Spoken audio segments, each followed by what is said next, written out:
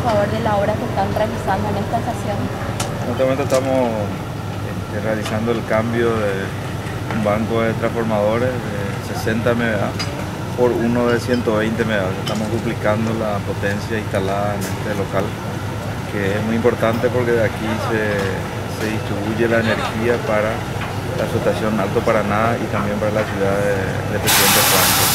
Eh, esta es una obra con una inversión aproximadamente de, 3 millones de dólares y eh, los trabajos iniciaron de cambio de transformador iniciaron esta mañana y se piensa concluir esta tarde y energizar hoy mismo para que mañana ya pueda estar con el servicio totalmente la, la instalación.